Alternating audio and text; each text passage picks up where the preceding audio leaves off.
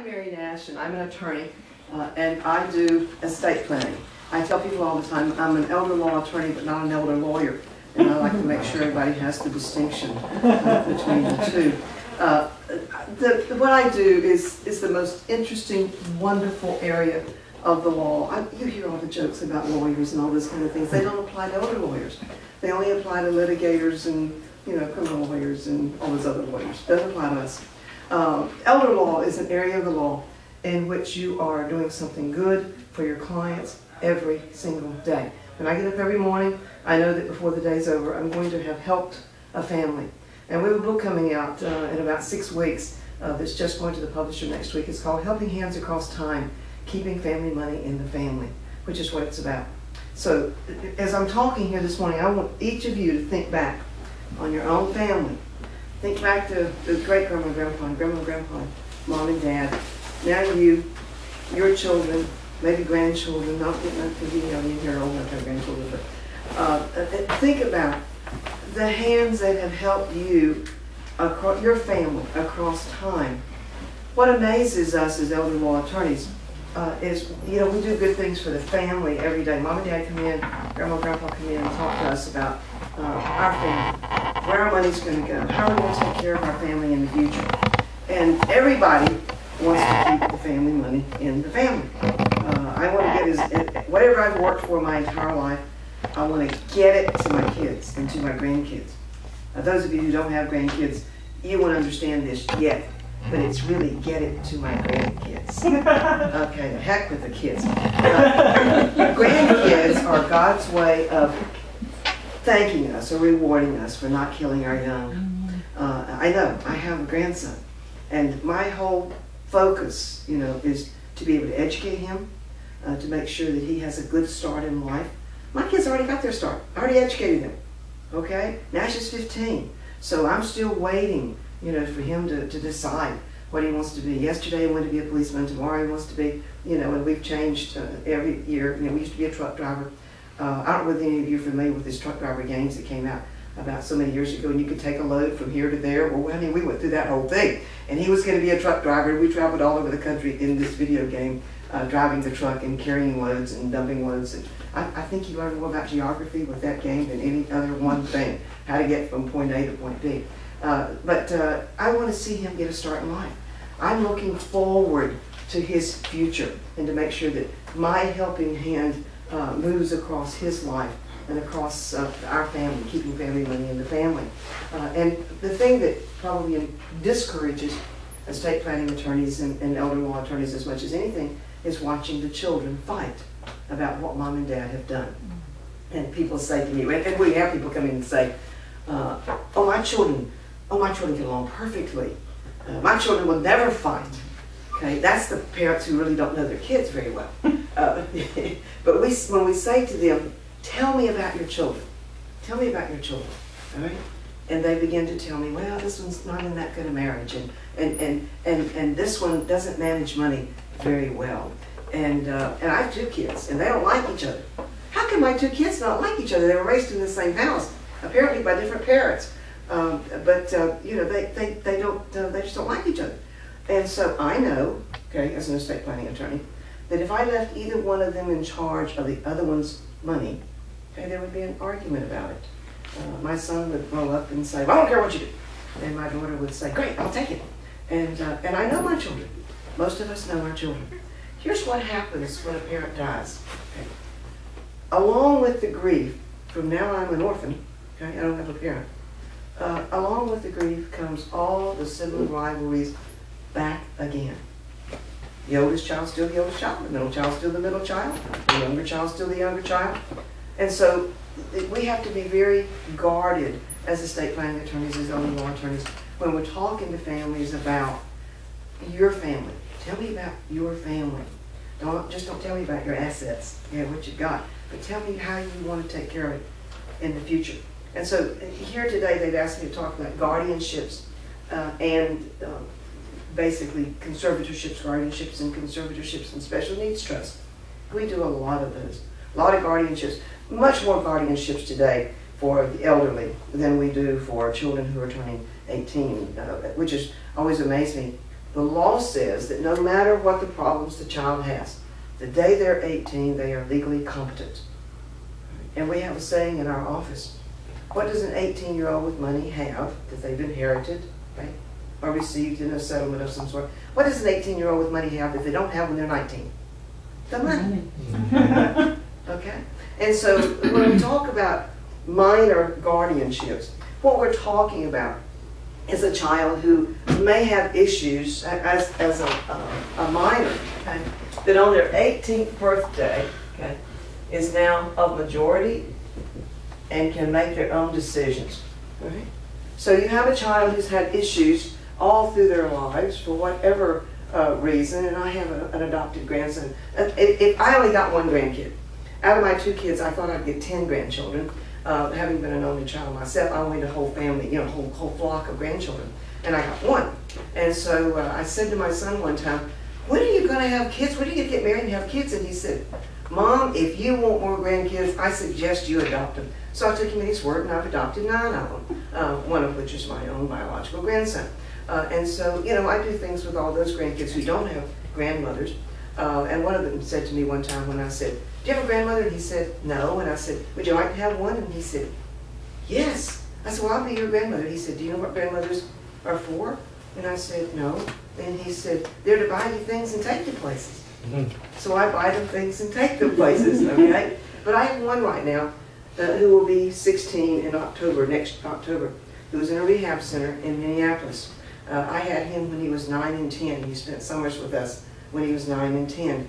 Uh, and then uh, we didn't have much contact with him through the years. And when he was 10 years old, uh, he told me, you know, I've had 10 daddies.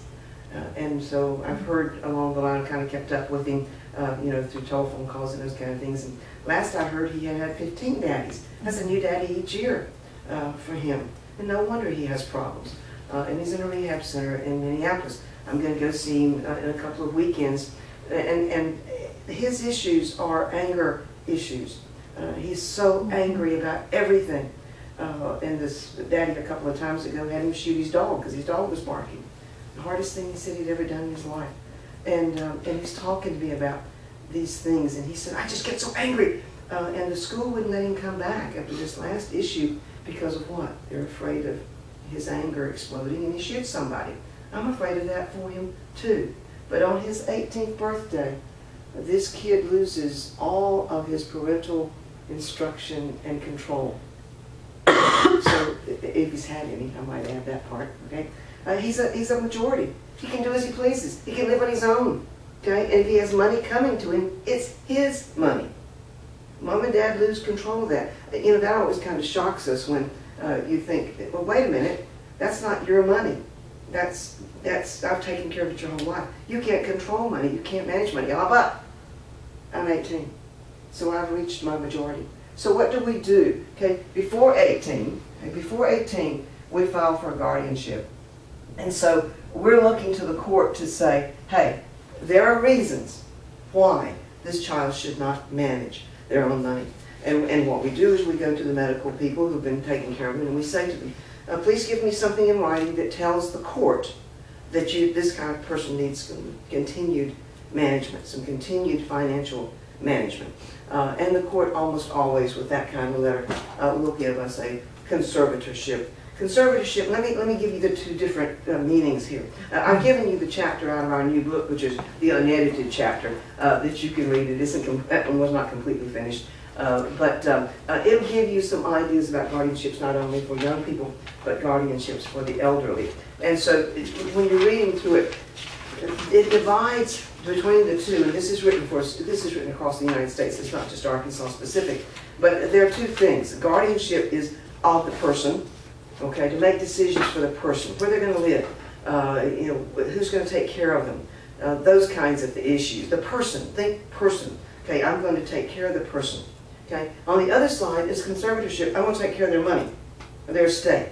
Okay, so they can be two different things, or they can be the same thing. Uh, we had an elderly woman in Heber Springs not long ago uh, who has uh, a considerable wealth, and her daughter was taking care of her physically at home. Uh, she was not doing well. Dementia had kind of set in to where she wasn't quite sure how to manage her own affairs. Uh, and the daughter came to me and said, "We need to do something about mom." I'm taking care of our caregivers coming in every single day. I'm paying them out of her estate. Uh, we need to do something. And I'd like to get a conservatorship.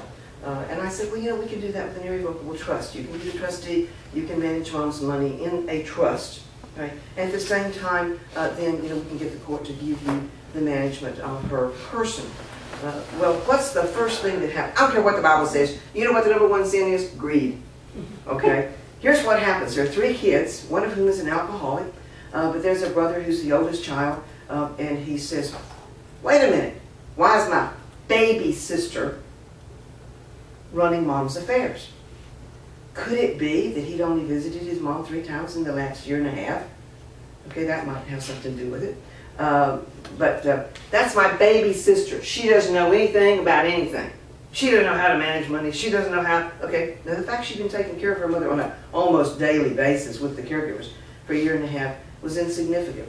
He immediately filed for a guardianship with an attorney. Okay, and we went to court, and the attorney said he wants to manage mom's money, and I said, hey, mom doesn't have any money. What? Mom doesn't have any money. What do you mean mom doesn't have any money? Mom is a wealthy woman. Well, she put all of her money in an irrevocable trust, and her daughter is the trustee. Well, okay. Well, then, then what? Well, you can have the, you can have the guardianship of mom's person. Well, I don't want that. Which gave us a hint as to what he was really after. But the court said, well, wait a minute. There's already an irrevocable trust. It's already been established for her care. Okay? So we're going to go ahead and give you the guardianship. And all of a sudden, now the sister says, I've stepped aside. Take care of mom. I'll, I'll pay because she has the money. She's in charge of the money. I'll pay. But now you're in charge of the caregivers and those late night, uh, you know, hours when the caregiver doesn't show up, the sister has to show up, and, you know, it's all up to you now. And so we run into that fairly often. But you see the difference? One's a guardianship, I'm going to take care of mom's person, okay? And the other one is the conservatorship, I'm taking care of mom's money. And the court could have said, had we not had the irrevocable trust in place, the court could have said, here, you take care of mom and her person, and you take care of her. Or you could put the two together, and one person can do it. Right? We have a, a, a case in our office that we just resolved a few months ago grandpa and daughter, a granddaughter are driving down the road. A guy runs out with a bicycle, kind of turns in front of them. Grandpa swerves to miss it, hit a culvert kind of straight on. Okay, and the little girl has uh, brain damage. And so we had a very large settlement from that. And, uh, and when we got ready to put it into uh, the uh, special needs trust, uh, we had to look at some issues. Okay, and I'm going to talk a few minutes about the different kinds of special needs trusts, third party settled and self settled uh, trust. Uh, and we were looking at the issue of this being the little girl's money because it was her damages that we were being paid for. Uh, and so if, if that were the case, and she was going to need a, a, tremendous amount of help for the rest of her life, okay, now this is, you know, uh, she's going to have around-the-clock care. Uh, and so we're looking at, she's, we've got her on SSI, we've got her on Medicaid, we've got her on SSDI, we've got her on Medicare. So we've got her covered medically, and the medical bills are humongous okay? And are going to continue to be that way. So if, if we're going to have this settlement that will do everything else for her, okay, uh, you know, all the things that she can do, all the therapy that she can have that Medicaid and Medicare won't pay for, uh, we've got this money, how do we do it? We go to the court and say, uh, Your Honor, set up a conservatorship. Okay? Make her mother the conservator, the person who will manage for her. And if we get the court to order it, okay, she doesn't have to, at the end of, of her life, the child's life, pay back uh, the government and it's uh, what it's provided to her. So those benefits are out there. You just have to know what they are. And, and the one thing about being an elder law attorney working in this area all the time, this is all I know. Okay, don't come to me and ask me to do your uh, divorce unless you want to stay married. Uh, you know, uh, don't don't come to me for a criminal case unless you probably want to spend some time uh, you know, as a guest of the county, whatever. Uh, we have someone in our office who does that kind of work. I don't do that kind of work. Uh, I do this kind of work, and I do it all the time for people, you know, all over uh, the country, really, because I'm, I'm licensed in four states. So when we talk about guardianships and conservatorships. If you have a child who's nearing the age of 18 and you're concerned about their, their being loose in the world, okay, on their own, you want to talk to an attorney who does this kind of work all the time about filing for a guardianship. And if this child is receiving money, okay, with his SSI or SSDI, whatever it is, Social Security Disability Insurance, uh, you want to say, Your Honor, you know, I, maybe all I need is just to be the guardian of my child ongoing, okay? Uh, so I can help them avoid some of the mistakes that, that, that the world might push on them. Or you might say to the court, no, Your Honor, I want to be not only the guardian, but I want to be the conservator as well. Okay? So make me both of those. And you get to decide. Because some of our clients, you know, get $600 a month. They say, gee, you know, the kid, they can have that. they don't need a conservator for that. And there's not a settlement of any kind coming. So I don't have to worry about it. All I'm looking for uh, is to make decisions for my child. To make sure my child isn't married uh, to someone who's going to take advantage of them. Uh, that I can make sure my child is living in a good place where I'm not worried about uh, their safety. So if I'm the guardian, I get to make all those decisions. If I'm the conservator, I get to make the decisions financially. Okay, so everybody understands the difference between uh, the two. When we're talking about guardianships and conservatorships for children, uh, we're, we're thinking ahead. Uh, you know, what point uh, might this child not need that anymore? And sometimes they don't, uh, and, and based on how things go. And so we're looking at, we can go back to the court and say, hey, we don't need to do this anymore. It, it, this is okay now. This child is in a safe environment, and, and we don't need to be the guardian anymore. Also, the thing that you've got to think ahead of is what happens if you're not here? What happens if something happens to you? Uh, I say that all the time to, to my daughter. My son-in-law died six, six years ago uh, and left a nine-year-old and, and uh, a grieving widow. Know, son-in-laws are dime a dozen. I was looking for one when I found him. Um, I used to tell you that all the time uh, because uh, you know you don't want son-in-laws to think you think too much of them. And, and uh, uh so my son-in-law was a great guy, crazy about my daughter, and a very loving and good father. But you know you're never going to give in to that kind of of praise to a son-in-law, you know. And I used to say to him all, but he would call me blonde jokes. And when he finished the blonde joke, I would say, "Was that funny? Was that supposed to be funny?" And then I would say to him my son-in-laws are dime a dozen. I was looking for one when I found you, and I'd hang up with you. And he would laugh. He thought it was the funniest thing in the world. And then I get a grandson. This is how God gets even with you. Let me just tell you right now, God gets even with you.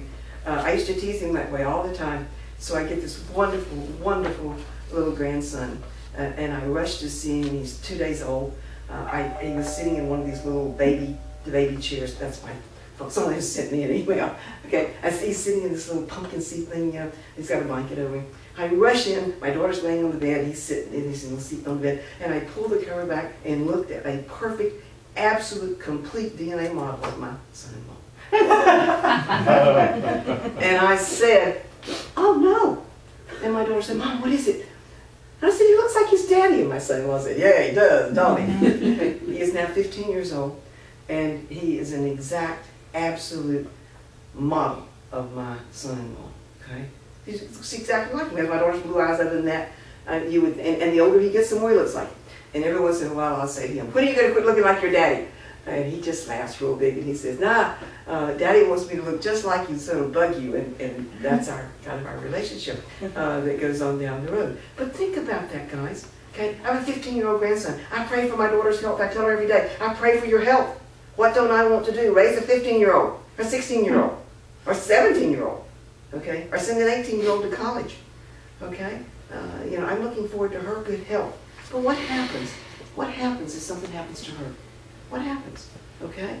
You know, I'm the only grandparent, so you know, naturally I think I'm amazing.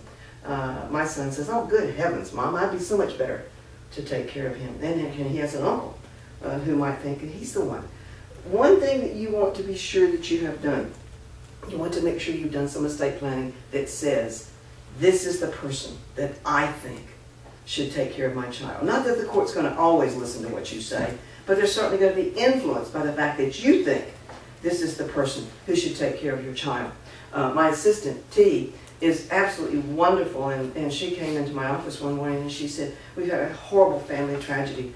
My brother in law's brother in Jacksonville shot his wife and then himself, okay, in front of their three children. And here's, here's a terrible tragedy in the family that was magnified then by both grandparents trying to get custody of those three kids. Okay? The father's parents are, are just devastated, but they love their grandchildren and they want them. The mother's parents are angry. Why wouldn't they be? Okay? Uh, and they're saying, no way are you going to raise our grandchildren. Okay? And, and, and these people who have lost their son, who's accused of this horrible crime, who love their grandchildren, can just see themselves being cut off from their grandchildren because of this. And so not only is this tragedy tragic, but now it's being magnified by the fact uh, that both families now are fighting, and the children are in the middle. Had there been something in writing, there was absolutely nothing in writing, but had there been something in writing that said, okay, if something happens to us, okay, then we want our next door neighbors to raise our kids because they're the ones that we feel would be the best home for our children. So that's one of the things you need to think of too. Not only guardianship when your child's alive and well and you're alive and well and thinking about the future, but what happens if you're not here? What happens if you're not here? You've got to think about that. And that's a discussion, guys, that husband and wife, mother and father want to have about their children. You just don't assume, well, you know, my sister's the best one. And, and if anything happened to me, it, it'd be my sister. It'd be my sister. And all the time she's thinking, are you kidding? That crazy woman's not going to raise my kid. Okay, so you've got to have some discussion. And one of the things that when we're talking about estate planning and we're talking about children with issues, uh, one of the things that we, we need most of all is open and honest communication. And I say that all the time uh, when I'm counseling families. Let's talk about open and honest communication. Uh, let's talk about how you feel about his sister, okay, about how you feel about her brother. Uh, you know, you want to you want to say that in a kind and loving way. Uh, you know, you don't want to say something along the lines of, well, we both know how things run in your family. That's not open and honest communication. Maybe honest, but it's not uh, the kind of communication we're looking for. So when we're thinking about guardianships, think not only about when my child turns 18, what am I going to need to do? Okay, but think about what happens if I'm not here when my child turns 18. What am I going to do? Okay. Plus, you've got to keep in mind that if you're thinking about naming someone as a guardian, let's say your mother uh, as a guardian, uh, mm-hmm. is that person familiar with all of the, the, the, the, steps necessary and the missteps that can happen when we're talking about SSI uh, and, and the benefits that the child may need? That's crucial, guys, just crucial uh, that you have someone who knows what you've already learned. And you can't just say, well, my mom would be the person, and, and mom hasn't a clue that's not the person. Sometimes you want to think about co-guardians or co-conservators. Two people, maybe one who's a professional uh, and one who is a caregiver. Uh, so you might want to think about those kinds of issues.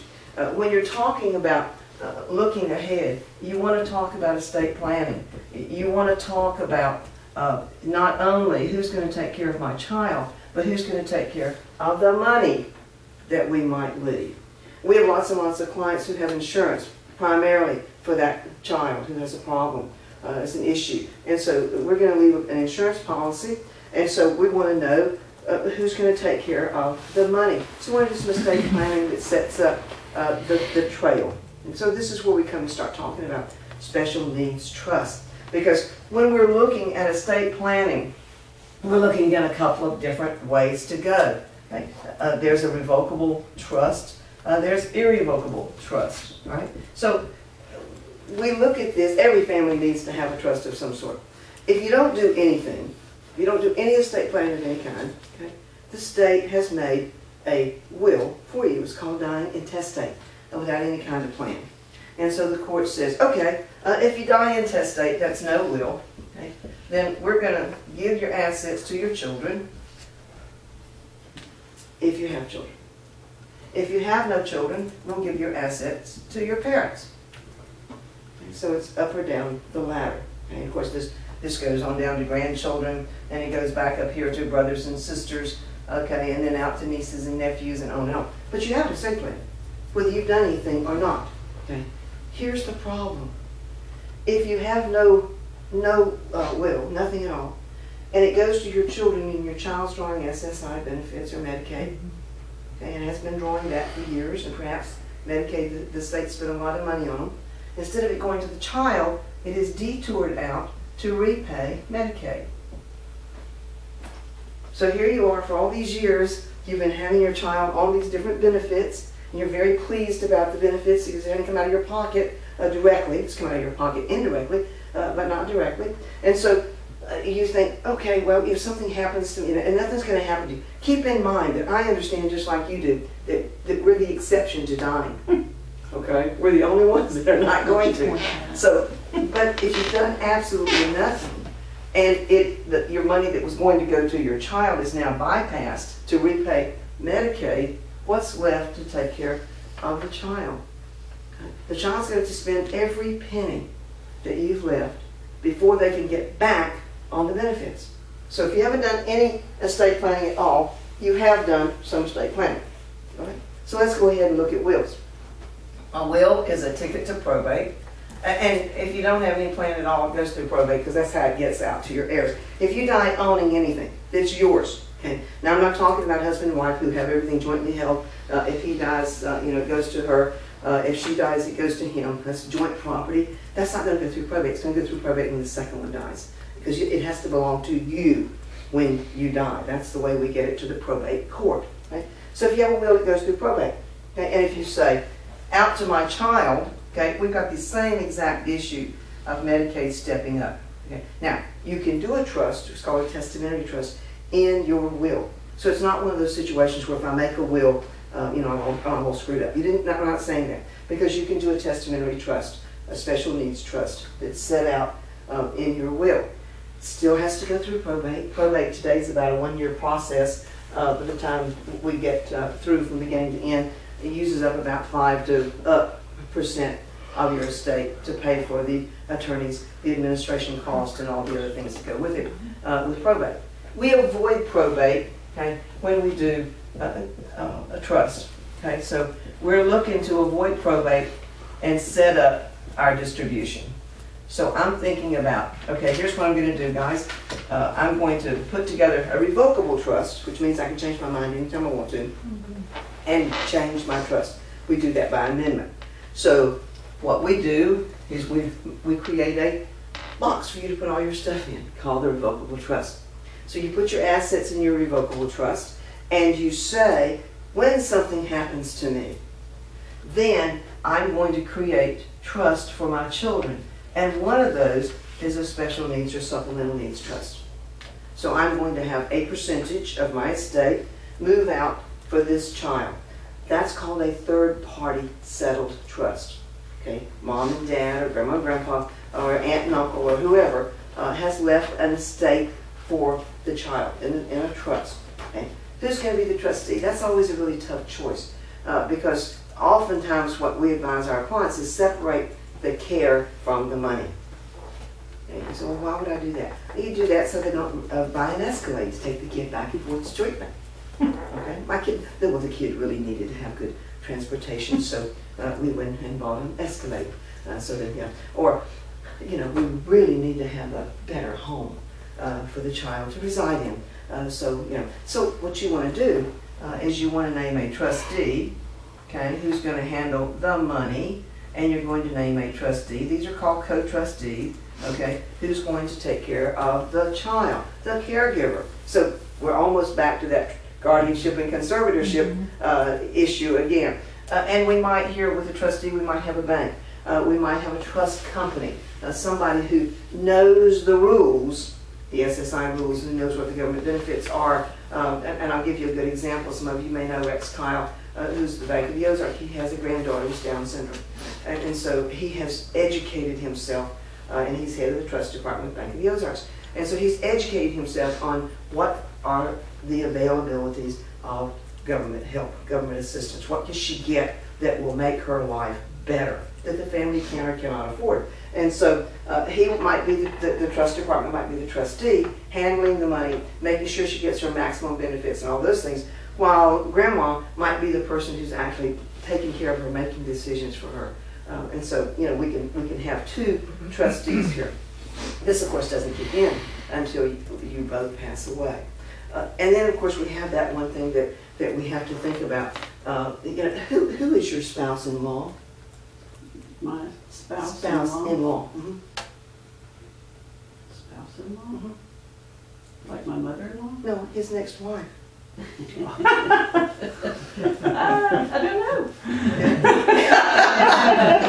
Who is she? But she won't be able to play with octopus because she's left-handed, okay? The spouse-in-law, okay, that's when you die and he or she remarries. Uh, and, you know, and, and she comes to the marriage with her kids, and he comes to the marriage with his kids, and he comes to the marriage with his assets that were your assets, um, and uh, she comes with her assets. And so now, you know, we've got a what we call a blended family.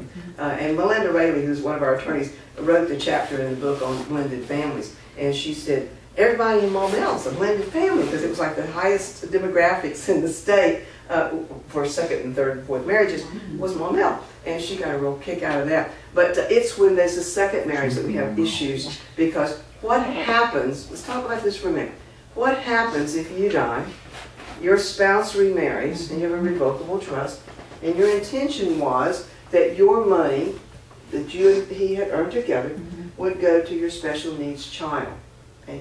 He remarries, revokes the trust, okay, or you know puts her name on it, and uh, and he dies first. Then what happens? Goes to her kids, all right, because she can divert the money. I'll give you a really, really good example of what's going on right now in Colorado. I'm barred in Colorado, and I was out there at Christmas time doing a whole bunch of work before the fiscal cliff uh, issue for some very wealthy clients. And I was reading this article in the newspaper, which really got my attention. It's a 17,000 acre ranch, a good portion of which was homesteaded generations ago, talking about helping hands across time. Okay? It had moved generationally across family members down to this man uh, who had recently died. And he had, he had grown up on the ranch, his children had grown up on the ranch. They're a big working ranch. It has a name, and I can never remember the name of it, Baker Ranch or something like that. And uh, his grandchildren, his great grandchildren, this ranch. Their mother, the children's mother, his children's mother, had died uh, fairly young. He had remarried, a, and a long marriage, wasn't a short marriage, okay? Uh, and they found out that she had given their 17,000 acre ranch to the state of Colorado when they saw her on TV being congratulated by the governor. Dad had added her name to the deed at some point throughout their marriage career. She did not have the same attachment to that ranch that the children and the grandchildren and he had had when she came to the state of Colorado. Well, now there's litigation, okay, which they're not going to win. I can't, I can't, I can't foresee how the family will win that. Because if I, the spouse, put my spouse's name on my property that my, my mom and dad gave me, right, and I die, and he puts his spouse's name on that property, your spouse-in-law, mm-hmm. okay, all right, and, and he dies, who does the property all belong to? It's hers. Exactly, lock, stock, and barrel. And cows. the whole thing. I mean, so when you're planning, you've got to do some planning that says, my goal, my goal is our child. Do we both agree to that? Yes. Okay. Uh, and so we're going to fix this so that when the first spouse dies, this is irrevocable and cannot be changed. Okay. Now, he and she can enjoy it. I'm not saying they can't enjoy it. Okay. Uh, you know, she can have all, she can have all the milk those cows give. I don't guess those cows give milk, but she can have all the steaks those cows produce. Okay. But when he's gone, it goes on to the family. Okay, all right. And, and, and you've heard stories like this before. This isn't anything new. Uh, there's a farm here in, in Arkansas, a beautiful big old white farmhouse up toward Clinton. Absolutely gorgeous place. Uh, and it had been in their family for years and years and years. Husband remarries to a trophy wife. Uh, you know what a trophy wife is? Okay, all right. Uh, it's the prettiest girl you could buy. And uh, so uh, he marries this pretty young woman who uh, had no children. And, uh, he put her name on it. And he subsequently died, and, you know, she's got the big, beautiful white house. Uh, and she marries a trophy husband, okay? And she died very quickly, you know, shortly thereafter. And he now is living in the house with his current wife uh, and their children. And the kids, you know, they, they drive by and wave at the house, but that's the best they can do. Happens all the time. So the thing that you want to do is to talk about, open and honest communication, talk about what is it that we want to have happen if one of us dies.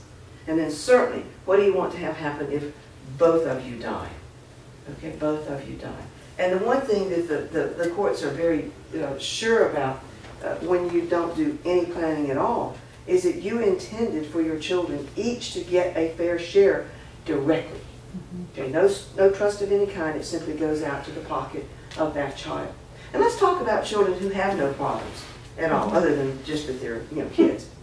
Uh, let's talk about the kid that, uh, you know, plays football and, and, and has good grades and, and all that kind of stuff, but who will receive his or her inheritance in Arkansas when they turn 18 or graduate from high school, whichever last occurs.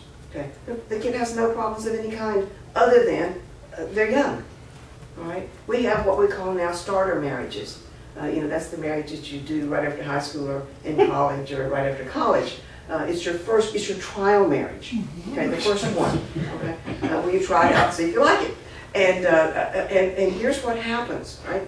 Uh, you know, he he or she get their money on their 18th birthday or when they graduate from high school, and they get their entire inheritance, the whole thing, all at one time. Okay, so let's say they're uh, an only child, and they get it all. Well, their friends increase. They get lots more friends. If you can, you know, buy the round, you get lots more friends. Uh, and uh, so, so you got lots more friends. And sometimes you get more girlfriends than you might have had because you have uh, more money. And suddenly you are 19 or 20 or 21, and all you've got left is the Camaro you bought with the money mom and dad left to you. There's no start there. The money didn't go on. It didn't go on. So you've got to think not only about the special needs child, but you got to think about the other kids as well. Right? So what am I going to do about the other kids? And, and so you want to add trust for the other kids as well. You don't, you don't necessarily have a special needs trust, okay, because that's for my child who has the special needs, who needs supplemental care. Okay, but I've got these other two kids out here. Uh, you know, this one can't manage money at all, never could manage money uh, at all. And sometimes, you know, you know it from the very beginning. it's like, don't give that kid money because that kid's not going to have any money uh, at all. And, and this kid's a really, you know, a, a really good saver, It really takes good care of the money, and you think to yourself, yes, but she's young. She's still very young. What if she marries someone who isn't going to take care of her money? And so you might say, you know what, until you turn uh, 25 uh, years of age, uh, we're going to have a trustee who is not you taking care of your money, and you can have it for health, education, maintenance, and support. What, you know, whatever it is you need that mom and dad would have provided had we been here, okay, uh, this can pay out to you. You can pay out income, it can pay out principal. You get to say how that's going to look. Uh, but we want to have somebody other than you managing it. We might make that age 30. We might make it 35. Uh, you know, just depends. And we can make it different for different kids. We don't have to have the same estate plan uh, for every kid. We can write different. Well, these are called sub-trust. This is the main trust. These are sub-trusts. Uh, and they're not active during life, but the minute something happens to you, these trusts are already there. They're already written into the document. All they have to do is get an EIN number, employee identification number, tax number, okay, and activate these trusts. So this is like a trap door. Springs open, the money falls out, okay, the money falls out, the money falls out, and then you get to control it on down the road. Okay? Talk about this. Let's say that we have elderly parents. Uh, now, you're in that situation now, maybe uh, uh, your parents are getting on up in years, and, you're, and, and they're thinking and worrying about nursing home. 92% of us will spend time in a nursing home. 92% of you will spend time in a nursing home. Like dying, I'm not going to do that either. Uh, but that might be from uh, recovering from hip surgery or a knee replacement or whatever. You may go for a short period of time and then you go home. You rehab and you go home, right? Uh, but we all spend some time there. 50-something percent, I forget the number, 57 percent of the is, will die in a nursing homes. So if you have elderly parents uh, and you're thinking, oh wow, okay, do my parents have enough money to private pay through their lifetime if they're in a nursing home?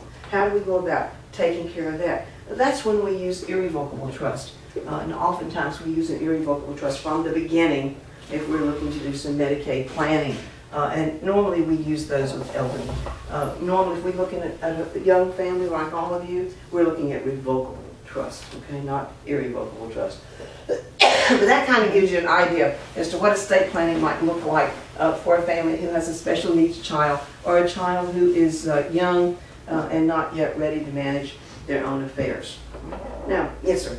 Okay, so I have a who has autism, Okay. which will never, you know, we don't know what level he'll be at when he gets that age. But uh, can you, es- would you establish an revocable trust? Just Revocable trust. Irrevocable, because you don't want it to be changed as No, well. but you want to establish an ir- uh, uh, irrevocable trust for the two of you, because this is your box, okay? Saying that when something happens to us, the two of us, and that might be, you know, 50 years from now, something happens to us, uh, then this is established for him then, and it is irrevocable.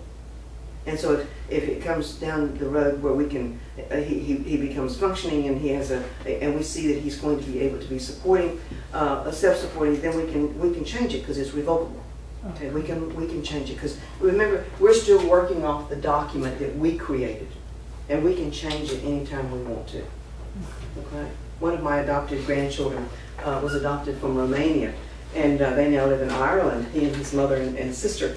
And, uh, and he has, he was in, basically in a, a cage, a, a baby bed, until she, she got him out at five years of age.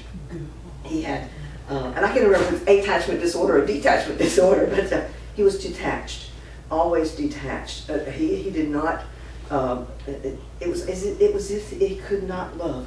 I, I don't know how to describe it any other way. And uh, he was about uh, six or seven years old, and I got him when he was five, and he, we had uh, a, a, park, a mobile home park uh, up at the uh, lake, and we had a park uh, model in the lake, and they were right across the street from us. And, uh, and he used to stay at our house more than he stayed at his house, both he and his sister. And uh, his sister was great. We taught her to work her ABCs, and uh, which we thought was something every young woman should know. And, her mother was very, uh, uh, very uh, straight-laced would be a good word, okay? And uh, she didn't think girls should burp, but they look at burp better than anybody in the world. So we thought if anybody could burp and hold it that long, she ought to be able to say her ABCs at the same time. And, uh, and, and so Costiga thought that was really funny. And he would come over and say, uh, teach Emma to burp. And so, and, and we got very attached to him, and he became attached to us and a dog, finally. But he cannot, uh, in, in Ireland now, he's in a special school. He just now is, is finishing school there, and he will not be able to, to function living alone.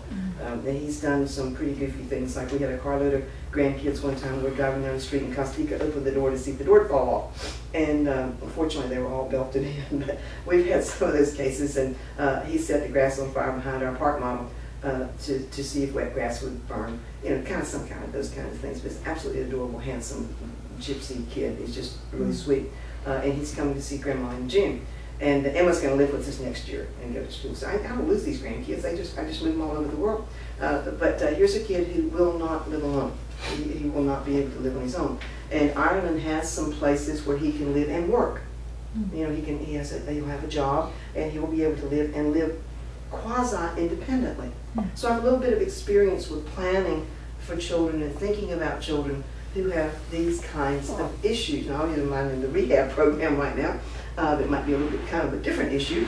Uh, but have Kostika who you know will not live independently um, the- for his lifetime. He, he will not be able to do that because we've, we've tried very hard throughout the years to to help him develop his independence, and that hasn't worked. So we put together a revocable trust for Mara. She's not married, never married, uh, adopted these two kids uh, as a single person, and we put together a revocable trust. And Costiga's, if something happens to Mara, because Mara uh, is, is alone, if something happens, Costiga will have a trust that will pay for his care. And even if he lives, you know, independent as much as he can, he still has to pay for his care. What if he's not able to work there? Can he uh, still have money? Yes, we've set that up uh, so that he will. Now let's talk about just special needs trust. Uh, and, and we really have three categories. Uh, there's the third party uh, trust, okay? Uh, there's this what we call self-settled trust, okay? And then there's the pooled trust, okay? Uh, let's start with the third party settled trust. This is where you, your assets, and, and think about it, uh, the third party's assets. So this is not the child, this is not their assets. Uh, Their assets would be the settlement from a, an automobile accident, or the settlement from uh, maybe brain damage when they were born, or something like that. That's their money. So this is the child's money. This is mom and dad, or grandma and grandpa's money, or Aunt Sue's money, or uh, whoever's money. Okay? And so the, the, parent comes to me and says, uh, my child has issues, and we talk about those, uh, and, and we, we really want to leave that child in a better position than now. And we want to set it up now. We want to set the child's trust up now. Not when we die, but today. Now, to put money in this trust uh, today. And so uh, we establish a trust for the parent specifically for the child. So this is uh, Sue's trust. So it's not the parent's trust, it's the child's trust today when we set it up. Right? Uh, and so we put this, this trust together. Oftentimes this comes from grandma and grandpa. You know, grandma and grandpa say, I want to set something up specifically for that child, my grandchild, Sue. And so I want to do it. And, and I don't, it's, it's outside of what I'm leaving you two kids. That's, it's outside of that. I want to do something for my grandchild. And so we set up this third party trust, put grandma's assets in it that she's giving to Sue, and we establish it right now. The beauty part about it is there's no payback here to Medicaid. I don't care if this was a million dollars and Medicaid had spent a million dollars on the child throughout the years. Okay? Grandma dies, this belongs to the child. Plus, grandma can say, and if Sue dies, I want it to go to my other two grandchildren, whatever's left. So I provided for Sue's any education, any therapy, uh, anything my grandchild needs. Today, the money's there. Don't you worry about it, son. I've, I've taken care of it. And so it lifts the burden off of the child because grandma, she's made sure that that's done. But if something happens to Sue, her life expectancy is not as long, and there's going to be money left in that trust, I could send that money out to my son, the parent. I could send it out to both of my children. Uh, I could send it to charity. I can do anything I want to do with it because it's a third party's assets. And therefore, the law can't tell me what I have to do with it. I've taken care of it. Right? Now let's move to self-settled trust. Okay. Uh, self-settled trust is, this is Sue's trust with Sue's assets. So Sue's gotten money from uh, a, a medical malpractice suit, or Sue's gotten money from an automobile settlement. Uh, our Sue has an accumulate. Let's say that, that we apply for some benefit that's retroactively paid. So I get a hunk of money that comes back to this child. It's the child's money, not grandma's money. Okay, it's the child's money. That's called a self-settled trust. Okay, when it pays out, whatever's left in there goes back to repay Medicaid or any government benefit. So whatever's in there. So I can't take a self-settled trust, put my money in it as the child, okay, and leave it to my parents when I die. I can't do that. Self-settled trust, it, it has, these are called uh, D4A trust, and it has a, a dictate that because it was my money to start with, okay, I cannot then avoid repaying whatever I might have received in government benefits. Self-settled trust. Pool trust, we seldom use pool trust. Uh, pool trust, or where you know you, you set up a trust, and it is a nonprofit. The nonprofit manages, invests, and takes care of the money, pays income out to the person, pays whatever might be needed out to the person out of everybody's funds for the most part. Okay, and this can either, depending, can either stay in the pool at death or pay out. It depends on which state, depends on what the rules are. All right, we don't use them very often. Usually, the only time we use a pool trust is if there are no beneficiaries left. Right, there's no brothers and sisters, there's no children, uh, there's really nobody to get it. Uh, so family money, it's okay if the family money goes to help other people who are similarly situated. And so we would use a pooled trust. Otherwise, we're looking at either either one of these. Now, the self-settled trust can be established by grandma and grandpa. That's and mom and dad, and that's basically the only uh, people who are allowed to, to do step sales, or the mm-hmm. person who, who sued, the, the person who's doing the trust. Mm-hmm. But it's not just, an individual is not going to set up a self-settled trust. Now let me talk a little bit about getting around some of these rules, because after all, I'm a lawyer. Okay, so my job sometimes is to find the hole and walk through. Uh, so let's say that we have an automobile accident where someone is going to receive, uh, we had one ongoing, about $480,000. Uh, a child had been injured, uh, and so we had money coming. And we had ch- other children that mom and dad were very concerned about. Okay, I don't want this money to end up going back uh, to Medicaid. I, I really would like for it to be able to come to my children here. So what we did was we went to the court, and we said to the court, okay, court, will you jump in the middle here between the money coming from the insurance company to this self-settled trust? Because remember, it belonged to the child, it's coming to the child, it's the child's money, okay? Would you jump in the middle here and order, that's the word, order the insurance company to pay it out to a third-party trust? And you say, well, wait a minute, if it belongs to the child, how can it be a third-party trust?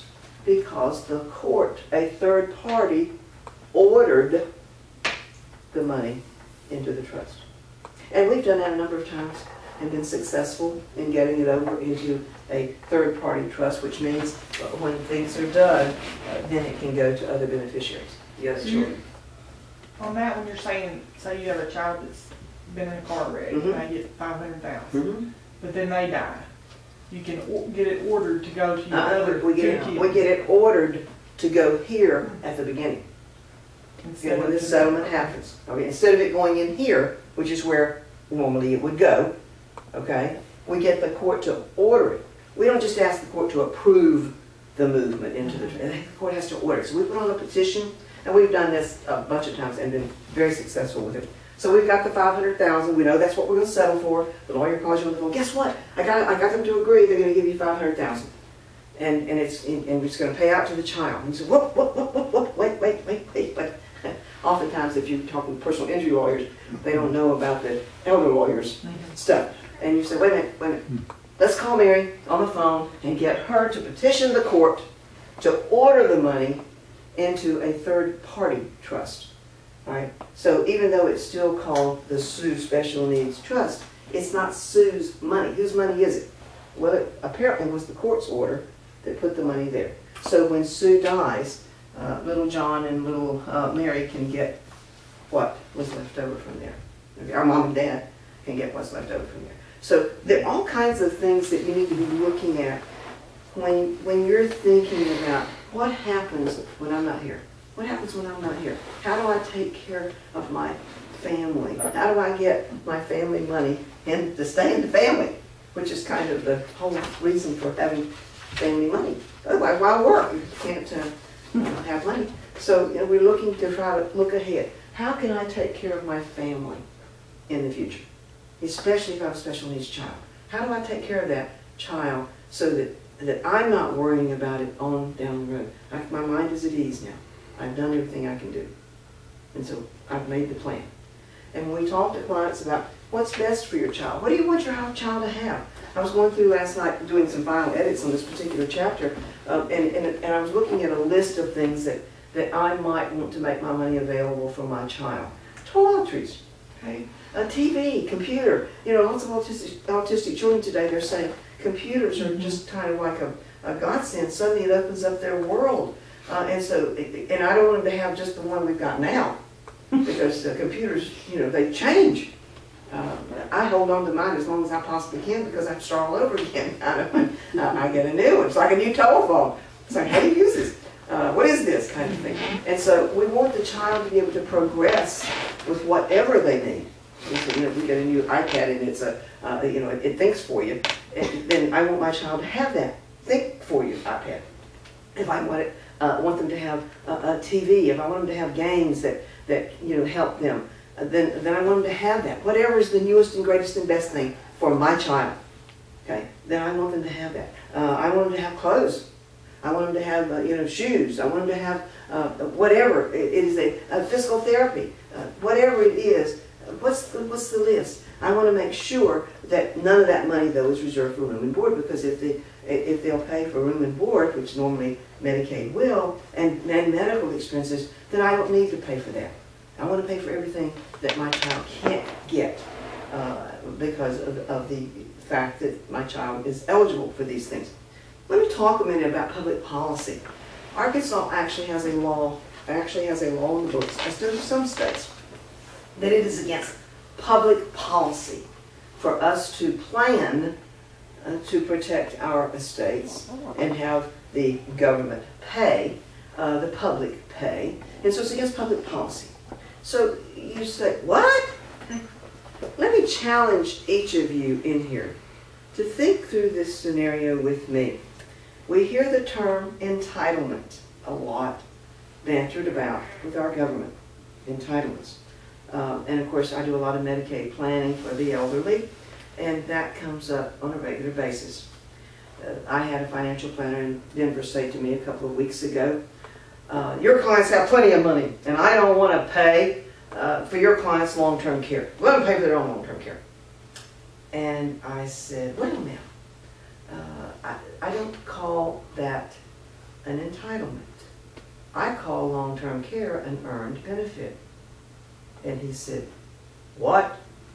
And I said, well, my two clients have been working since they were in their teens, early teens for him, okay? Uh, and so he's paid into the Social Security system for 60 years. 65 years, as a matter of fact. He's paid, and he's made really good money. So he's paid into uh, the system at the max. So let's look at that just for a minute. And then I want to challenge each of you to think about this uh, when it comes to your own government benefits and your parents, etc. Okay? Let's say that John and Sue paid, started working when John was 13, Sue was 15. Okay, he's mowing yards and he's doing all kinds of things and, and he's actually paying into the system. And so the government sets up an account and they call it the John and Sue account. Okay? And every year, John and Sue pay into it.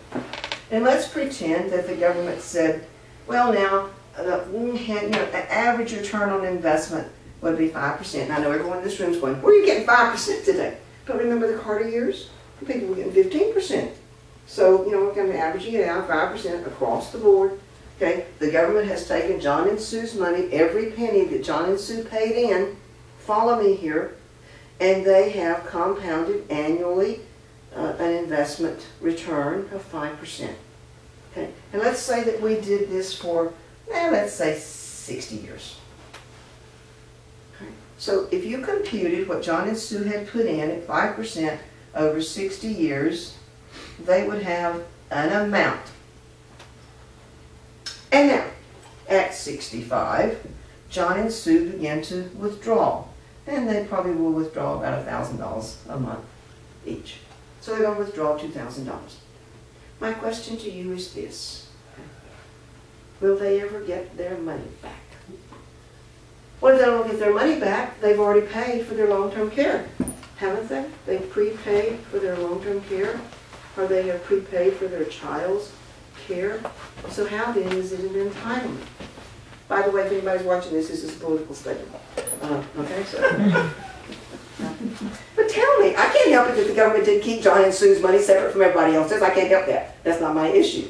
My issue is John and Sue paid into the system for 60 years. At 60 years, had their money been invested at 5%, compounded annually, okay? Then when they began to take out, will they live long enough to take it all out? No. All right. Okay, but let's add one more factor to it. John died.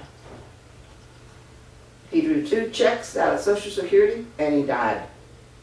You know, men die younger because they're not made out of as good as stuff and they don't last as long.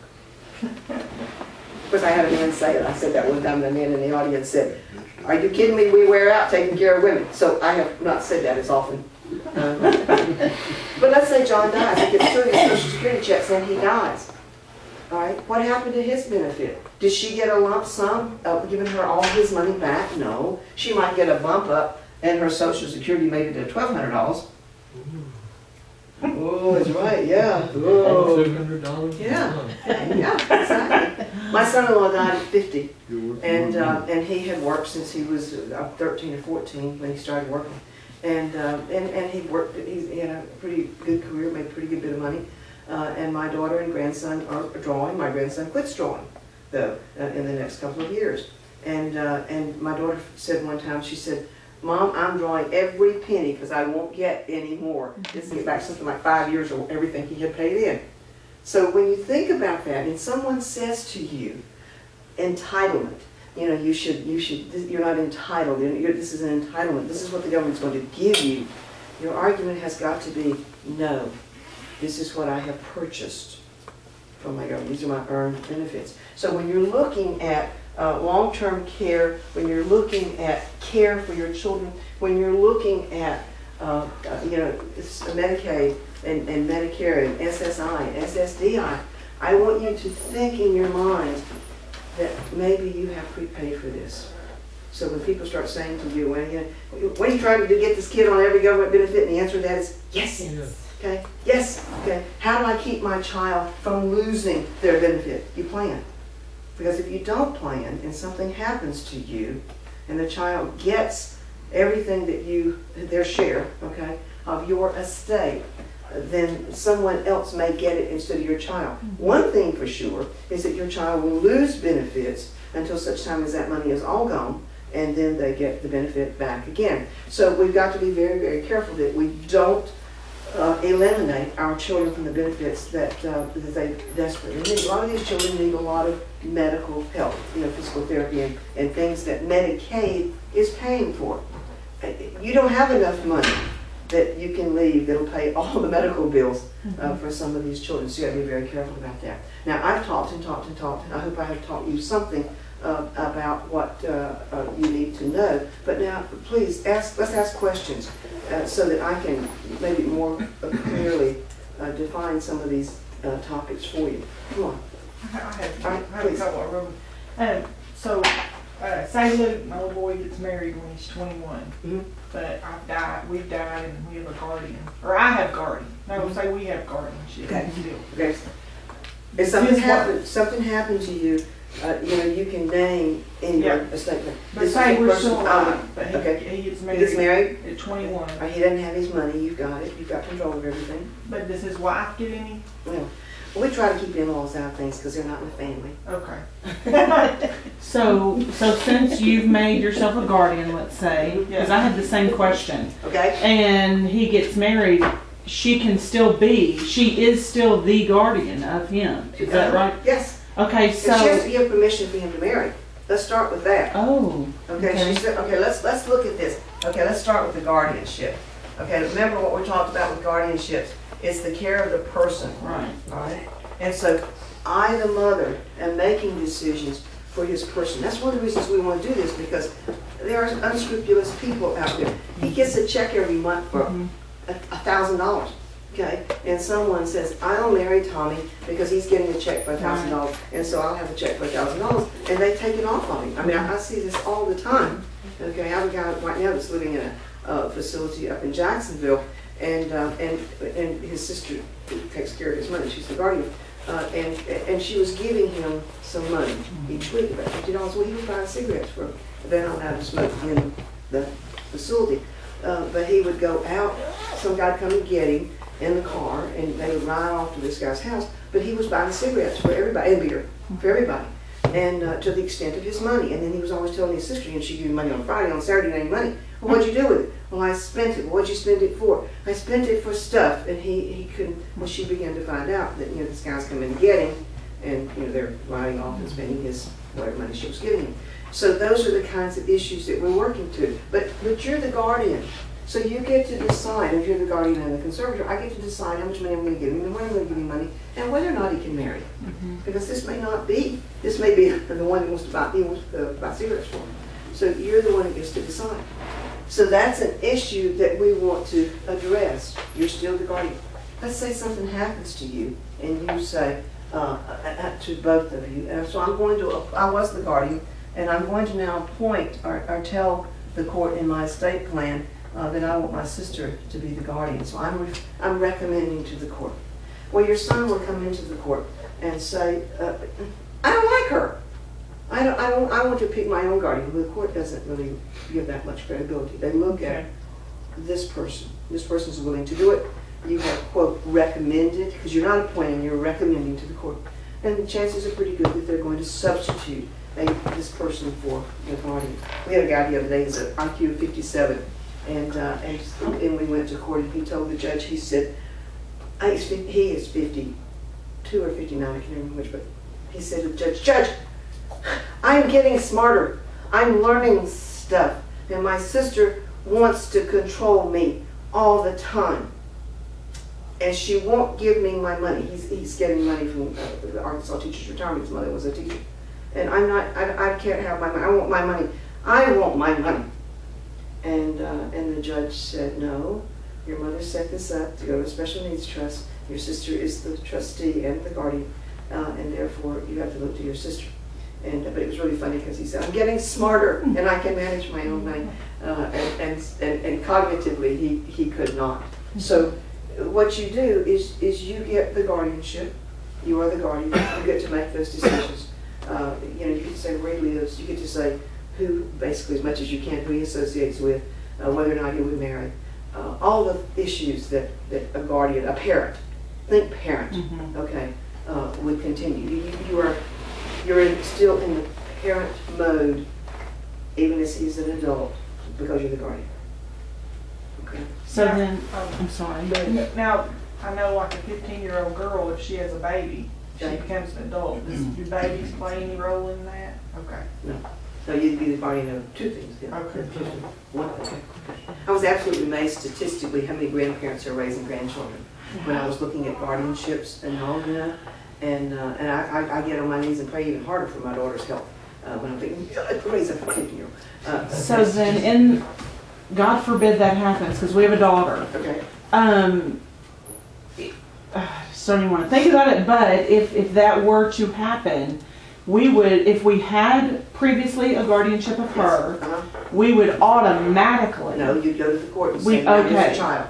Okay, There's a child, please add the child. okay. Okay, so that Because I would be concerned about the other grandparents, Exactly. the father. Exactly, out of control, out of control. Okay. Okay, it, guys, listen, let's face it, this is what it's about, control. Okay, I, I take control. I'm, I'm not looking, because if you don't have control, who does? Somebody has to have control. And if you have a child who, who cognitively or uh, physically cannot take care of themselves, uh, then someone has to do that. And it's your responsibility to do that. What, what is difficult is if you let them get beyond 18 and then you come back to the court and say, oh, I, I forgot to get it when he was 17, so I'm here asking the court. And he's going, what, what, wait a minute. You thought I was an adult and okay to take care of myself when I was 18, and now suddenly, you know. And and we run into that situation quite often. There's a lot of cases on it where the parents manage the child's money on past, uh, and these are children, well children, uh, on past their 18th birthday just because they always had, all right, and we still think of them as children. Uh, I still think of my adult children as children. I, I- you know, and, and, uh, my son spent the night with me one time, and, and he wasn't in about, about like midnight, and, and I called him on the phone and said, where are you? And he said, Mom, I'm an adult. I live by myself, just the fact I'm spending the night or the week with you this week doesn't, you know, you, you don't, you don't need to call and find out where I am. I'm like, "I'm okay, Mom. I, I just tell you the, the story that, that uh, I told a lot of mothers with new babies. When my son was born, uh, he had not, at nowhere had they given him his instructions on sleeping through the night. Uh, and every two hours he was awake. And, and I'm a sleeper who, if I, if I, if I go to sleep and wake up, I'm awake. Okay, and it takes me forever. I mean, we were the next feeding by the time I was ready to go back to sleep. And so I'm sleep deprived about three weeks into this. And, and, and I mean, I'm just, I could sit, you know, I sat down and I go to sleep. And so my mother came over, the, the proud grandmother, you know, her only child's only child, and, uh, and, and she was just eat up with this little boy. And so she comes in from work one day, and instead of coming to her house, she always came to my house first. And, uh, and so, and I lived right next door at that time, so she came over to the house, and, and I had, and I just put him down, and I had just laid down, and mom comes in. And I said, Mom, when will I ever get a, a full night's sleep? And my mother said, never again. And I thought, God, God, help me. I never, he's never going to sleep through the night. Is that what you're telling me? And my mother said, no, sweetheart. Okay, he will start sleeping through the night. You won't, because you will always listen for him when he lives with you. And if your phone ever rings in the night when he doesn't live with you, the first thing you will think about when your eyes pop open and you're wide awake is him. And that's true. It's been true. I mean, you know, he's an adult man who lives alone in his own house and has his own house. Uh, and I still, if, if the phone rings in the night, instantly I think of my two children, my grandson. Because something happened to my family. And that's what, that's what estate planning is all about. Is, is what will happen to my family when I'm not able to take care of them anymore. Um, What is the trust when you have life insurance and you want it to go directly for the care of your child's estate? To the trust. To the trust. to the trust. If it goes to, if it goes directly to the child, the child loses benefits and may have to repay. So what you do is you simply, uh, let's, let's say that this is, uh, and you- let's say you don't even have a trust. You don't have a trust, but you have established a trust for Tommy, okay? And you say, okay, I got life insurance and the beneficiary of my life insurance is the Tommy Trust. And then I say in the trust what can be used, what that money can be used for. I run into that all the time with, especially elderly clients who have an adult child that, you know, they've raised, that's always lived with mom and dad, and, and now dad has passed away, mom's living alone, and she doesn't really have very much. I have a, a little lady up in, uh, uh, uh, Manette, uh, which is just, she has a little house that's probably worth seventy-five thousand dollars maybe paid for. Uh, she really has a little bit of money, but not, not much money. But this child is going to live somewhere. She's, the child's fifty-five or sixty, uh, and some mother's going, where will my daughter be? Where will my daughter be? What's going to happen to my daughter? And what we did for her was we bought a life insurance. And so mom has life insurance. It pays to the daughter's trust. There's a trustee. The bank's going to be the trustee. And so the, the bank will manage this about two hundred fifty thousand dollars for this child's benefit, on and on and on and on. And, uh, and so the child will be able to live in the home, perhaps with an in-house caregiver, a housekeeper, something like that. Uh, but there's gonna be money there. Mom doesn't have money anywhere else. So that life insurance would go directly to the trust, not to the child, directly to the trust. So if you've ever had like a child that's had any kind of medical benefits from the government, you don't ever want to establish anything in their name. No, no, you always want in trust for, in trust for, okay? Because you wanna be sure that the money doesn't go bypass the child and go completely back to repay. Question? Um, I have a question just on getting the guardianship. Okay? Uh, Our son's eighteen now, Okay. and we tried last year to get a guardianship for him, Okay. but the doctor would not write the medical note. He said that he was so borderline that we didn't want to take those rights away from him, and he would not write the letter. My advice to that is get a different doctor.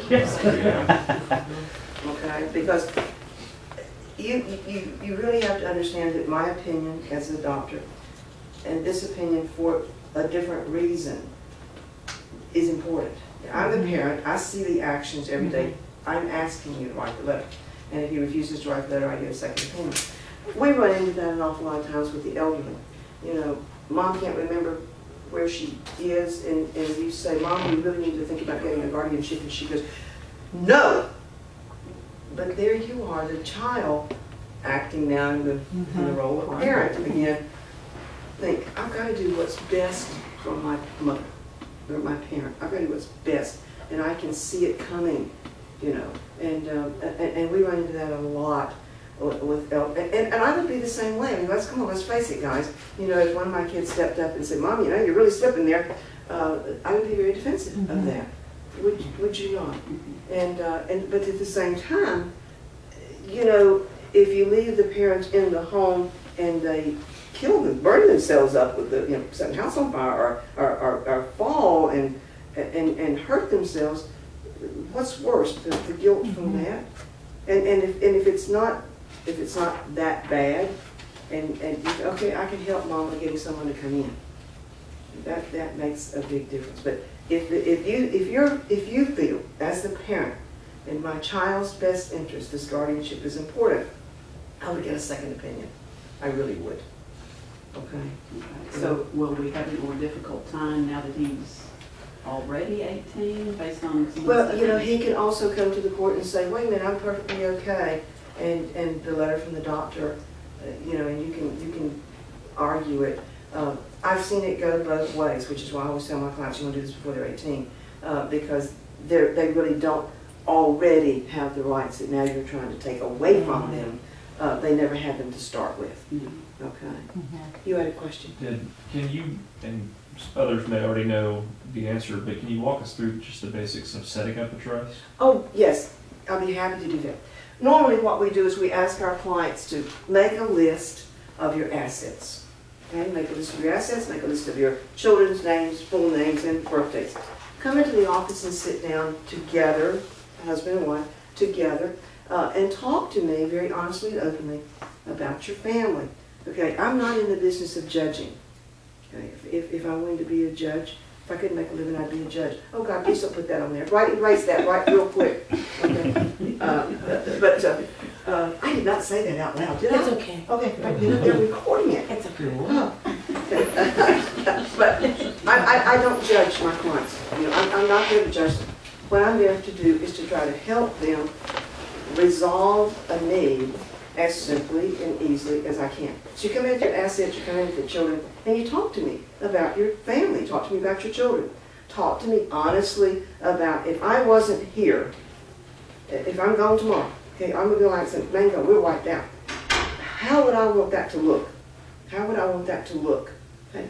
And so if I, uh, if I put my plan together and I named someone else, uh, my sister to be the trustee, and I named my brother and his wife to take care of my child, the one thing you always want to do though is, is ask if that's okay. You want to have a conversation with them. And nothing's more surprising than to wake up one morning and find out you're the parent of a kid that you didn't want, or kids you didn't want, uh, or maybe you didn't even like. So, you know, but, but you, you start off by saying, okay, these are my assets, uh, this is what we have, okay, uh, and this is our beneficiaries. So I'm going to tell you, Mary, that these are the people that I love, and this is what I have accumulated.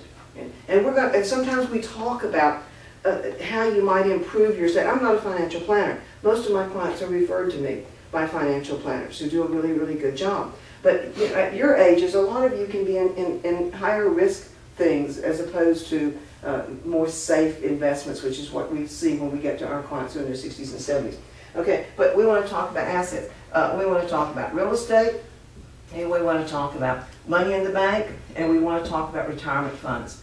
All right, and so if, if I've got a 401k that's starting and I'm contributing regularly, and I think, okay, you know, a good, good man of investment, uh, at some point I'm going to have about X amount of money, so we're looking at that. Uh, and, and not only do I have retirement, but I've got life insurance. And sometimes we have to talk about, do you have enough life insurance? Do we, you know, and here's the thing I run into all the time with uh, financial planners, okay, is, uh, you know, this good-looking guy here's got a million, two hundred thousand on him, okay? And this beautiful woman here, he's insured her for eighty thousand. Why? She didn't work, she stays home. Right? We did this not long ago where we figured out the worth of a woman, okay? Husband came in, almost this scenario, he had a million three on him, he traveled internationally, he was gone a lot.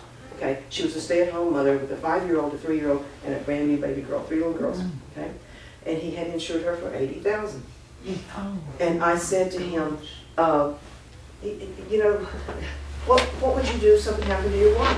And his response was, I have a million three on me. And I said, but you didn't die. She did. And he sat there for a minute like he didn't get it. Okay, how much does it cost to buy a new wife? Twenty-five dollars is just. How much? Okay. Yeah, prices, you guys, oh, here's this guy, I did, I did, say that, the prices, okay. But listen, here's the thing, you gotta have one that can drive and take the five-year-old to school. While somebody stays home with the brand-new baby, okay, that- that- and that's the one that's been up all night, mm-hmm. and, um, a- and the one that's got to make breakfast with the three-year-old. All right, so, so we're pretty much talking about, about two nannies. Full time. Full time, okay, he's gone out of the country, okay, a lot. Mm-hmm. Right, we've got to have people staying overnight. So we're probably looking at around the clock care, all right, at, at what, what, at twelve to twenty dollars an hour at least. Okay, so the, the, we, I sent them immediately back to their financial planner and jumped all over him. Uh, and, and what they did was they bought a term policy on her because they only need it until these, until the baby is eighteen. So we buy a twenty-year term, okay, we're, we're filling the, the need there. So we we talk to people about how much insurance have you got? Do we need more if we have a special needs child? What, do we, what would the special needs child need if they lived an average life span? Okay, so, so what do we need? So you gave me all your assets. Now we're going to talk about your kids. Okay. Oh yeah, I got one. Um, he's uh, uh, he is never going to be able to handle his money. Never, ever, not in a lifetime. He's never. You know, he thinks money grows on trees and he picks it off. Um, and so that's the one. And then we've got the one. She's absolutely gorgeous. She'll probably marry six times. You know, by the time she's 25. So we want to make sure you know. And then we've got the special needs child. So we're going to talk about it. The one thing that we run into all the time is just a nightmare. A nightmare is where uh, the parent, and we run a lot of times with elderly parents.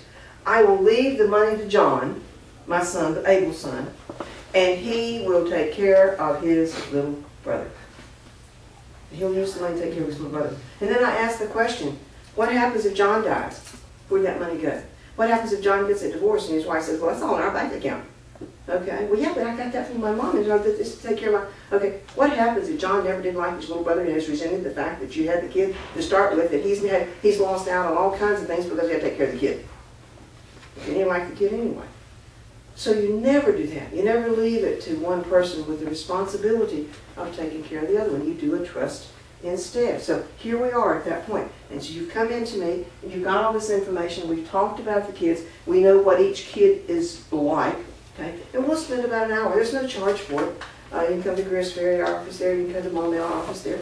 Uh, and we'll, we'll we'll talk through these issues so that you have in your mind uh, hopefully when you come in, some ideas on how you want this to do, but I can clarify some of those things for you. So we're looking at, we're going to put your assets in a trust, and we're going to spill out, remember that trap door, we're going to spill out to our children, the special needs child, okay, uh, the children who are not special needs, their assets. And then every once in a while, we'll get the parent who says, well, I want to give it all to this child to make sure this child has enough. And I say, well, wait a minute let's think that through a little more thoroughly, because we're back to that. I resented that kid my whole life, and now mom and dad died and left every penny, and, and, and you know, and, and I've had to struggle, and I've had to work to, and, and you say, maybe we can, maybe we can fill this bucket with some insurance, so that the other children have their, quote, fair share. So we, we talked about how you feel about that, and how they will feel about that. Very, very important. We had a client come in not long ago, a doctor, a very, very successful doctor who has two sisters who are teachers. And uh, he came in to see me, really very emotional. His parents had not left him anything. They had divided between his two sisters. And he couldn't understand they didn't love me. And I said, wait a minute. I had very voluminous notes in my file. And the parents had said, we educated our son, the doctor. And he has always said, Mom and Dad, you gave me my education. I don't need anything else from you. Okay. His sisters make thirty-five thousand dollars a year. If they're lucky, mm-hmm. he's making a million dollars a year. And they, they talked to me about how wonderful their son was, how how knew they could always depend on him, and, and all the and how successful he was and everything. And I made really good notes. Okay. Now we always say to our clients, if you're going to do something like this, write a letter telling your kids. Well, these people had not, but I had an opportunity to sit and talk to him because they didn't tell him they loved him. They, they just assumed he knew. And they didn't tell him how proud they were of him, that he was making a million dollars a year. And, and he had bought them a car, and he had done all kinds of things for them. And, and his sisters were, you know, just making a living. And, uh, and, and they said, he'll take care of his sisters. We know that he'll do that. He always did it for us. We're so proud of him. But he is making a million dollars a year. His sisters are not. He always said to us, don't worry about me, don't leave me anything. And he didn't really mean that, okay? right? But uh, he just wanted to know they loved him. Just wanted to know. And I was able to tell him, yeah, your parents are really proud of you. Look what they said about you. Uh, and all those kinds of things. And those things mean a lot. So if you if you say, well, you know, I'm gonna I'm gonna leave 50% here and I'm gonna leave 25 and 25, then tell your children in a letter why you're doing that. Okay, I read a thing in a Reader's Digest not long ago that I get the biggest kick out of because I try to do this with my grandchildren all the time. Uh, is tell them they're my favorite. They are my favorite. That kid. Okay.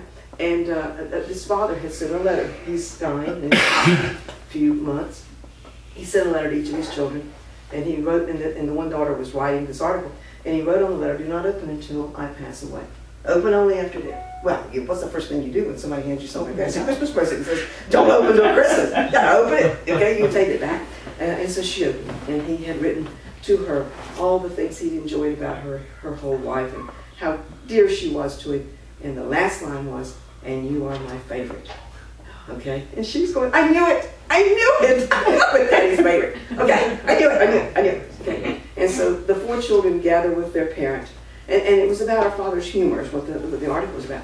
And they gather with their parent at, at his at his dying, uh, and they're laughing and talking and and about their father's life and with their mother and what a great guy he was and all those kinds of things. And, and they got around to the conversation uh, about uh, getting this letter from their father. Everybody got a letter from their father. Well, it turns out everybody opened the letter. And, you know, couldn't wait. Everybody opened the letter. And, um, and so they're sitting there, and one of the kids says, Yeah, so I, I, I have to tell you guys, but I've always known this. I was dad's favorite. And the girl who's writing this goes, No, you weren't. I am dad's. I don't. But dad said it in the letter. Well, dad said it in my letter.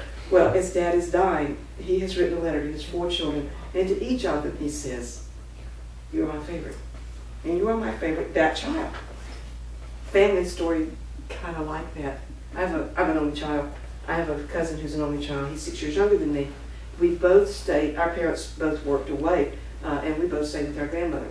And, uh, and, and I had started, I'd gone on to school at the time. He came along, so he had his time with grandma before we started school. And uh, he was about four, I would have been about 10. And grandma and granddad lived in a big farmhouse, you know, high off the, the uh, ground in the back. And grandmother had her walnuts in the, on the ground drying. And he and I used to play under the edge of the house, under the house. It's our playhouse.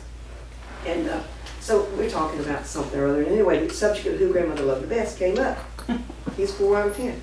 And I said, Grandmother loves me the best. She's always loved me the best. And he hit me in the head with a walnut. And uh, of course, I had called him a baby and some other things before he hit me. But uh, I ran in to tell on him, and he got a spanking, and everything went great because that's the way I knew my grandmother loved me the best. That has continued all through our adult lives. Uh, I have all grandmother's pictures. My mother was the oldest daughter, and she got all grandmother's pictures, and I have them hanging in my lake house in North Carolina. He came in one day and he said, Where'd you get all these pictures? And I said, Grandma gave them to me because I'm her favorite. So of course I got all the family pictures and I have them hung, you know, in the house. And he goes, well, I didn't get any of Grandma and Grandpa's pictures. And I said, that's because you're not her favorite. Well, you're not her favorite. And so this has gone on all through the years, uh, who's, who's favorite. And sometime back I was at uh, Breckenridge at Colorado at my home out there, and I was walking down Main Street, and in the window was this little plaque, uh, granite plaque, and it said, God loves everybody, but I'm his favorite. And I sent it to my cousin for his birthday. It's not only my grandma's favorite, I'm God's favorite too. so we want our children to know how much we love them. And one of the things you do when you do estate planning is you let them know, this is how much I love you. I, I'm going to leave you something to take care of you in the future so that you know that I'm going to take care of you. I, I took care of you while you're alive, I'm going to take care of you on. And you children are not forgotten. And that's that's how we do the estate planning. So when you come into me to talk to me, you know, have in your mind these issues that you've already discussed. And, and you know, and I would, if, if I thought it was in my son's best interest, even now that he's 18, if I thought it was in his best interest to have a guardianship, I would, I would get a doctor who agreed with me. I would get my son to understand why I'm doing this, uh, and I would go forward with it. Because, uh, you know, we've got case after case after case where mom and dad are still trying to manage his money, and suddenly he says to the court, wait a minute, make them quit. And the courts have said, you quit. Just because you're his parents does not mean that you're able to continue to manage his, his um, assets without the court saying that you should. All right. You had a question back here somewhere? Um, I think I had a question. Uh, Um, so once you've established guardianship, is there an expiration date? Hmm. Okay. No. But my daughter, I, I, I just foresee she's very high functioning. Of course, I don't know what she's going to be like at 18 or Yeah. older. But um, at, at any point, can she come back and challenge Mhm. that? Okay. Oh, yeah, she can come back and challenge it. Okay. Uh, and, and she can come back with her letter from the doctor who says, Okay. uh, you know, and, and she can say to the court, I'm working, I'm married, have children of my own, you know, I, I have some issues, but I'm able to work through them. Okay. Please cancel the guardianship. Okay. And, and we did one for the, the fellow I told you about, his granddaughter had the brain damage. Uh, he almost died, and, and his son, he had rental property. And so he's in the hospital on and on and on and on, and then he's having issues himself. And we did a guardianship for him uh, during that period of time so the son could go get the money to- for the rent, pay his bills, take all, all the things he needed to take care of. And when he was able, it- which took about a year, uh, we came back to the court and said, he's fine, please dissolve the guardianship. Uh, and we did a final accounting and closed it out. So, you know, you could, there, there's all, there- there's answers out there for all of these things, you know, when you ask the right attorneys. Uh, you know, your guy who does, uh, traffic on Monday and, and something else on Tuesday is not gonna have an answer. Uh, but an elder law attorney who does this all the time will have an answer. Okay? I have, I have another question, kind of, uh, blended family Uh-huh. thing, but, um, right now, we, we do have a trust and will and stuff, Okay. but we didn't get it by an elder, so we, we prob- we probably need to have it looked at. So, uh, so I have a friend that I have asked to be our guardian. Okay. And, um, And she's agreed, he's agreed? yeah, Okay, right. um, but. That's very um, important. But we have, we have, uh, I have a stepdaughter that's twenty-one, Okay? um, so how does that play into it if she wanted to do it, even though we wrote it? And, like, you know, if we died in five years or Yeah. something?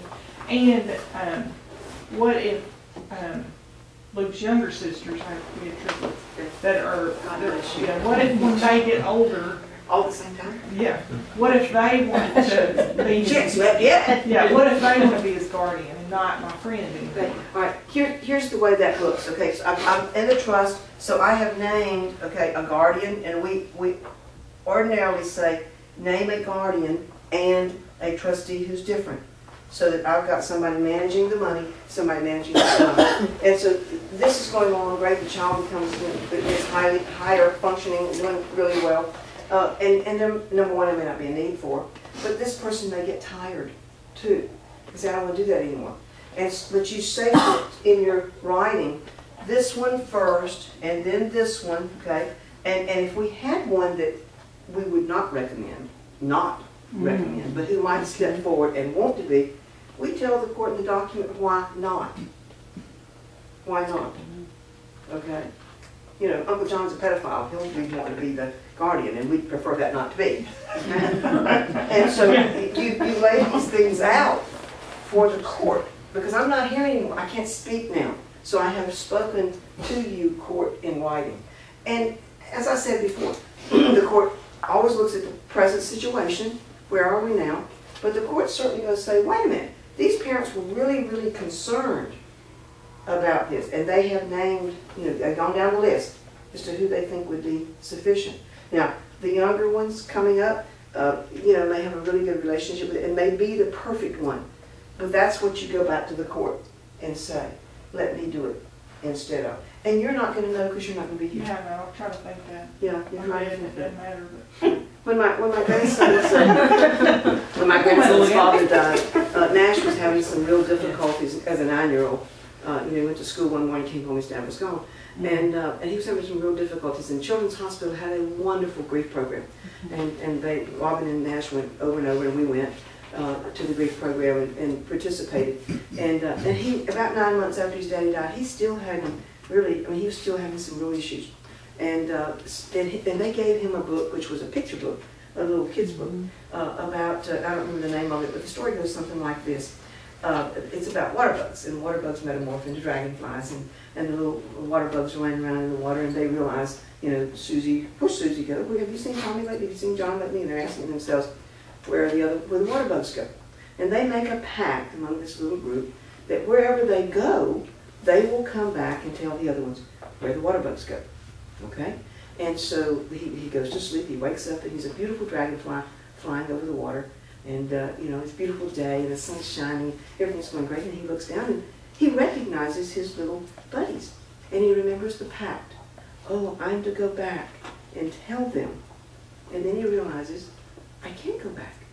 But I can see them, and I always know how they are, and I always know they're well, and everything is wonderful in their world. And they will, they will come to me, though I can't go to them. Solve the whole thing for Nash. Okay, to this day, my grandson sincerely believes his father is watching everything, and we talk about him in present tense. Uh, I have to remember that, uh, you know, because when he got his learner's permit to drive, I made some comment about, well, your daddy'd sure, uh, you know, be happy to hear that you got your, dri-" and he said, he knows. And he's totally at peace with that, totally at peace with that. Daddy's here, I just don't see him, but he's here. Okay? So, you know, the fact that you're trying to see ahead, how will it be? Um, It will be okay. Okay. How often should you modify, I mean? like You should look at it every year. Every year. I tell my clients all the time, pick a day, our anniversary, our birthday, my birthday, I always do mine on New Year's Day because there's football all day.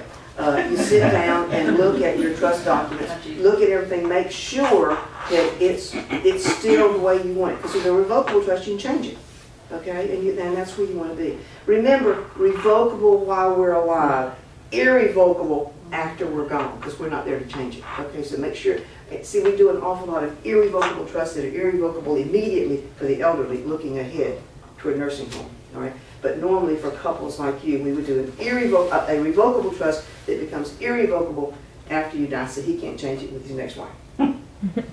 Okay? And anybody that had triplets don't want to be married again anyway. The only thing worse than that was uh, Vic Snyder and his wife who had four under two. Yeah, I know them, yeah.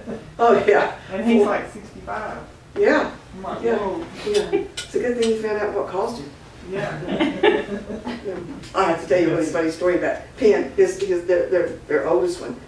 Vic didn't put him down. I mean, like, you know, Penn was born, Vic caught him and hadn't put him, didn't put him down. And, uh, and he, and he wouldn't let him go to the nursery at church, because that's when Betsy was at church, uh, I went to Quapaw. And uh, my daughter ran the nursery, and she was wanting to get her hands on, on the baby. And he wouldn't put the baby in the nursery, which I didn't think looked that good for the preacher not to put their kid in the nursery, And you know. Whoa, boy, the nursery over there. And uh, uh, so uh, he would hold, he would hold him, hold him all the time. I'm a grandmother, for God's sake. I want to hold him. And so we women would gather around and try to get him Well, he'd let us look at him, but he wouldn't let us hold him. So we were in a fundraiser at church, and so I said, I'll put a hundred dollars in the plate if I can hold Penn. and so we made arrangements for me to hold Penn. Okay? And this is the absolute truth when I tell you. Vic had me sit down Oh my gosh. okay, on the pew, pew next to him, and he sat there, and he put Penn over here, and I put my arms around him, and I realized I'm holding Vic. The baby loose, Vic, and, and he took the baby back, and I said that was not worth a hundred dollars. And so, uh, I was on trustees when, when, uh, Betsy, well, we went, Betsy was always high energy, and I went to a meeting and, and Betsy was kind of low energy, and I mentioned to one of the other trustees, she left the room, I said, what's wrong with Betsy? I said, boy, she's really low energy today. Well, she came back, and sat down, she said, oh, I gotta tell you guys something. I'm pregnant with twins. And we're going, yay, yay! Oh, boy, she's got twins. Oh, God, that's still three under two. Well, one of those twins split and became three. Okay, and now she had three uh, and Penn. And you know what I thought to myself? I thought, hold all four of them, Vic.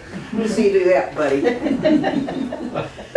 I guess, my gosh, I get the whole babies now. Yeah. You know, and, you can do that uh, but uh, they're great. They're, they're really, really great. But I was telling you, I, 300, 300, uh, 300 new ones. I just can't imagine. I mean, I, have, did you ever, have you slept any yet? Yeah, now, But but not all night. didn't sleep until about five. Oh, gosh. Gosh. I see have my deepest and most sincere sympathy. But your, your mom was right. Oh yeah, my mother was right. Yes, I tell I mean mothers when I when they talk to me about they can't sleep and they sit there, I always laugh about it and say, "Eh, sleeping's over," because that was true. Any other questions at all? Thank you all for your atten- attention. I really appreciate it. Anything else I can answer? Come see me. You know, that doesn't cost you anything, and uh, we'll have a good time talking about babies. Is it a big deal, like, to change your whole thing? Oh, no, no. I wouldn't do it by amendment, if you have a revocable trust. So, not hard at all. All right, have a great day, guys.